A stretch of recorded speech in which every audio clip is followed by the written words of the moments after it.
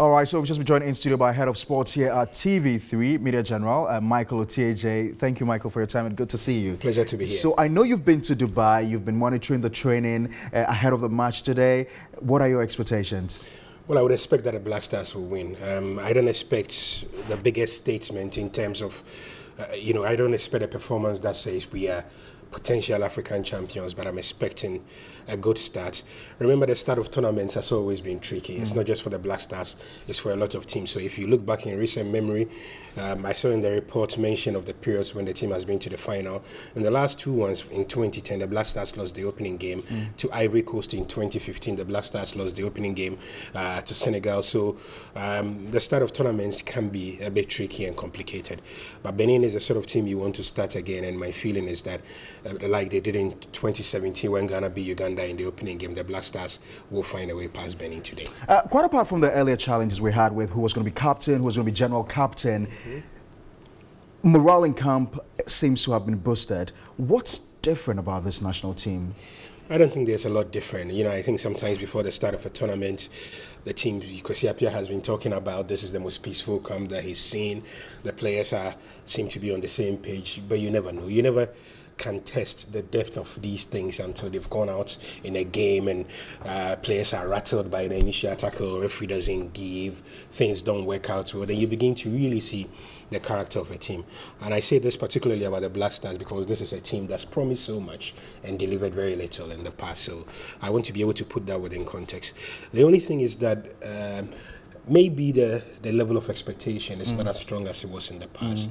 Mm. Um, also when you look at the last two times the team has been to the final, it was almost the same thing.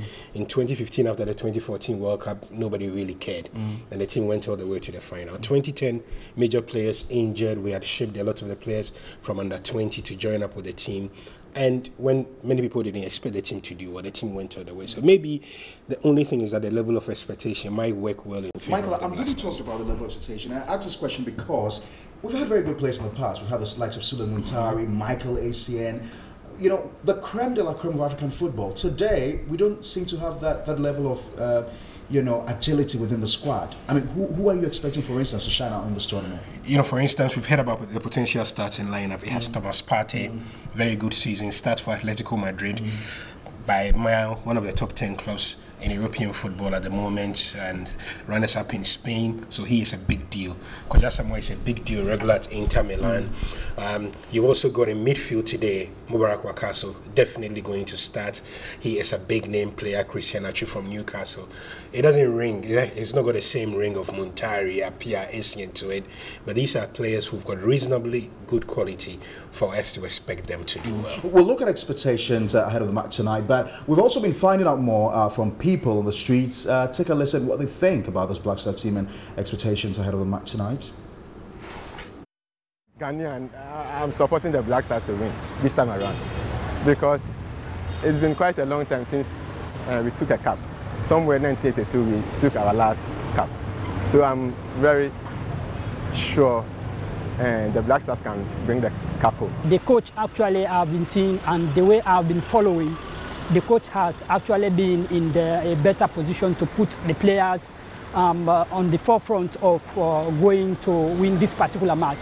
And I think most of the players, again, are committed enough to actually go in for this, for this African Cup of Nations. I would prefer Ghana to win as a Ghanaian, but looking at our team and then the preparation, um, I'm not sure but and I'm not doubt. I, I, I, I don't doubt if Egypt win, but I'll be surprised if Ghana win. Oh, Ghana, though any easy my but see me near be a second and I'll be sir. Well, I think uh, the Black Stars has the chances of winning the African African Cup of Nations. Yes, looking at our history for the past 37 years, we have strived to be able to uh, take uh, get the cup, but uh, hasn't been so for us. So I think that, as our captain said, Asamoah Gyan, per the uh, interviews that we've had, they've had, yes, I, I think that there's more chances of them like taking the African Cup of Nations since they themselves have said that there's much confidence of them taking it. All right, you heard voices from the streets of Accra on what they make of tonight's match. Now, Michael, this is one of the rare moments that brings us together as Ghanaians. There's lots of joy, there's lots of unison let's look at our team, for instance. Our group, I'm talking about. Now, we're playing Benin tonight. What, what do you expect? A very difficult game. They are Is it? neighbors, but also this is a Benin team who've played uh, nine Nations Cup games and have drawn, I think, only two. They've not won a game at this level. So, it's a proper big name team versus an underdog.